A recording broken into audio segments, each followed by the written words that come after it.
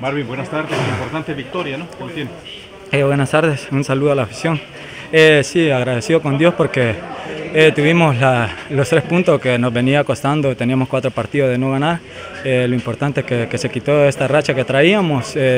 terminamos sufriendo, pero tuvimos para, para llevarnos un marcador mejor, pero así es esto. Lo importante es que se, que se sumó de tres.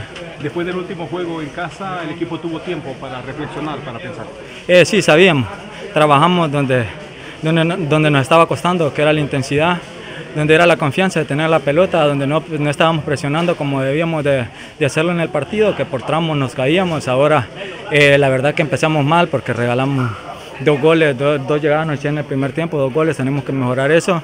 Sabemos que allí habíamos tenido problemas los partidos anteriores y hoy nuevamente cometimos errores, entonces falta mucho, no nos vamos contentos porque eh, sabemos que, que, nos metieron goles muy fáciles, que esto no puede pasar, otro equipo eh, se nos para mejor y ya no podemos remontar, pero gracias a Dios ahora hay que, hay que rescatar el esfuerzo del equipo, la mentalidad que siempre subimos abajo y después nos tocó remontar y, y, el, y el, equipo fue fuerte de mente. Bueno, se viene la recuperación porque el sábado también hay otro reto. Sí, sabemos que ya esto ya quedó atrás, ya mañana empezamos nuevamente, ya olvidando eso que, que eso ya quedó en la historia, entonces ya el sábado toca otro partido más difícil, sabemos que viene un equipo golpeado igual que como veníamos nosotros, entonces esperamos de que ese equipo nos va a salir eh, con todo, entonces nosotros igual queremos ir, tenemos dos partidos más de visita y queremos sacar los, los puntos posibles para estar bien.